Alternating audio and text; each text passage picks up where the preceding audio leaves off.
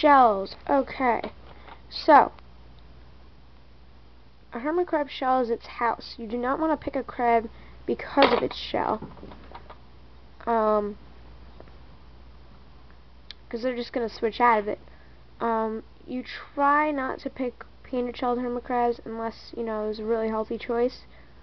Um, because, trust me, it's just more pain than it is to help the crab. Um, it's just, it's just a mess. Um, and also you're, you're supporting the businesses that make painted shells by buying the ones, even though you feel bad for them. So, you don't want to do that. Um, so I'm going to talk about what Ecuadorians like in their shells. So Ecuadorians are very, very, very picky on their shells.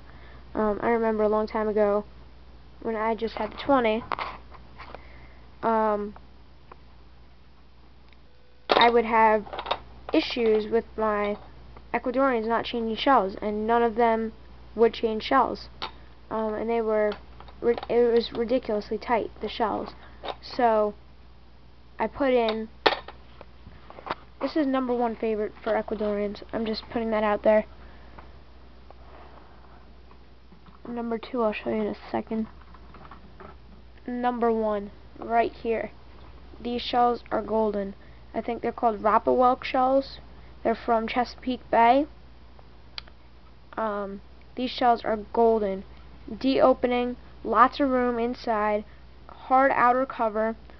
Um, the snails that these live in grow like a weed in Chesapeake Bay. So people are just going out there and annihilating the snails because they can't stand them. So these shells wind up as the um, result. So chances are, if you're ever going to find these shells, they're going to be extremely cheap because, like I said, the snails there grow like a weed. So there's loads of these shells laying around. Um, so all these shells, I've got like five packs of them already in here. A lot of them got buried. Smart crabs. Um, but five bucks, I've probably got 50 or 60 of these shells in here. Um, and my Ecuadorians love them.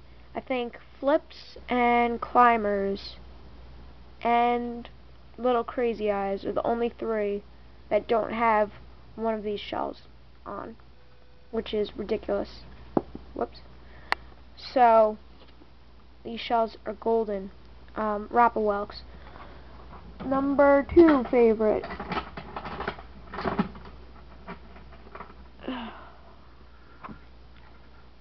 these shells, uh, I'm not really sure what they are. I think they're some kind of tana.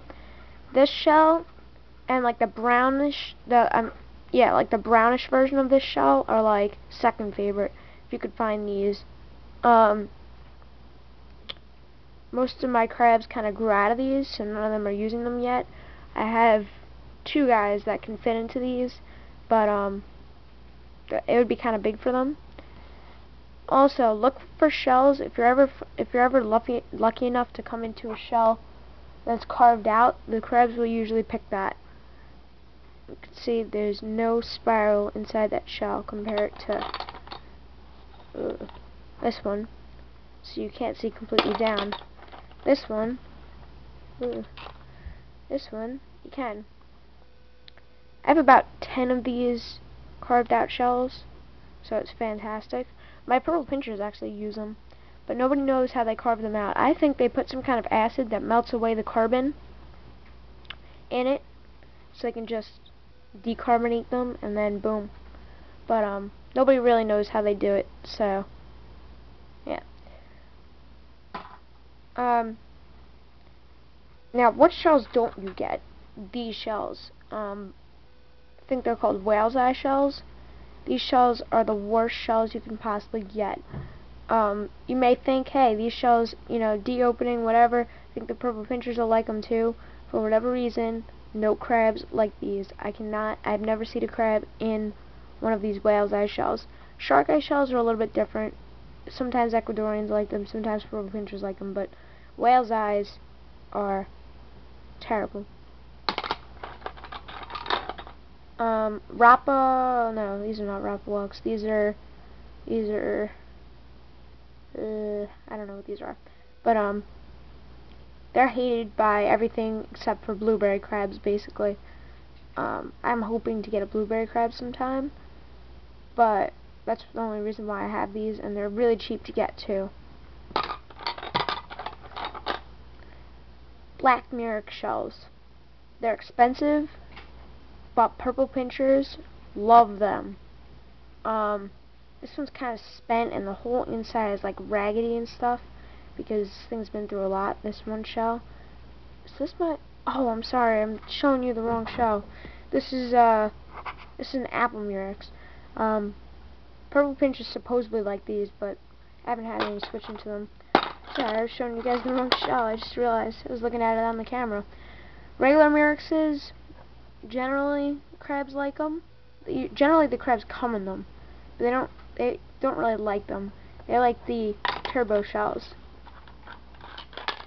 Here's the black murex. Okay. Normally they look amazing.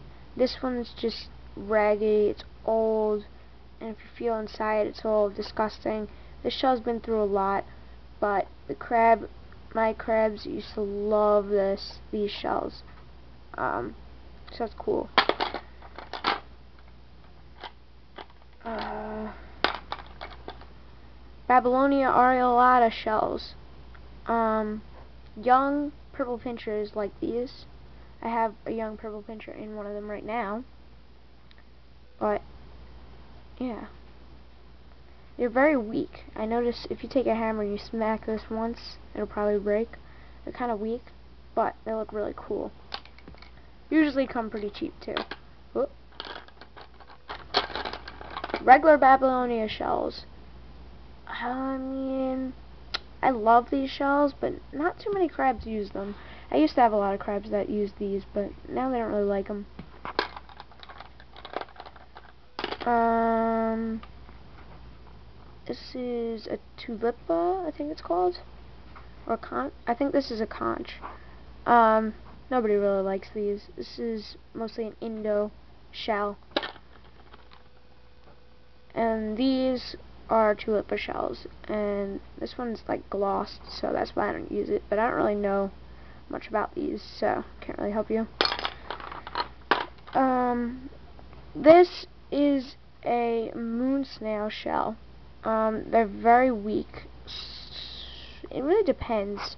Some, I mean, I've heard of some people having crabs that love these shells. Other people have crabs that they that hate these shells. I don't really put them in there, but when I do, I had one or two crabs using one of these, but that's it.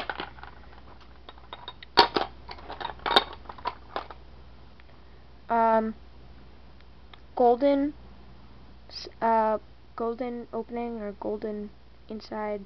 I don't know. I don't know what it's called. Um, these shells, eh, they're not really. Nobody really likes them. Never had a crab use them. Um, and yeah, we got turbos. And there's another shell that I'm trying to find in here. These ones, silver turbos, are supposed to be really good, but nobody really uses them either.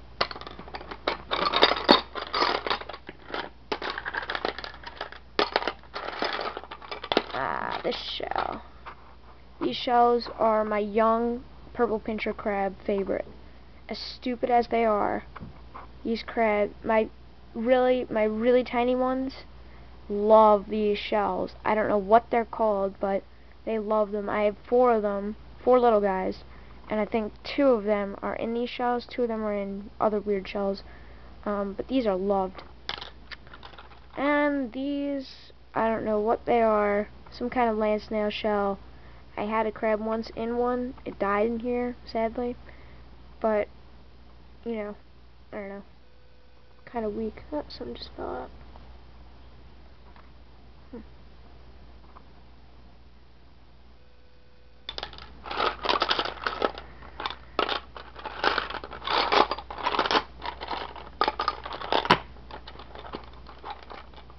bubbler.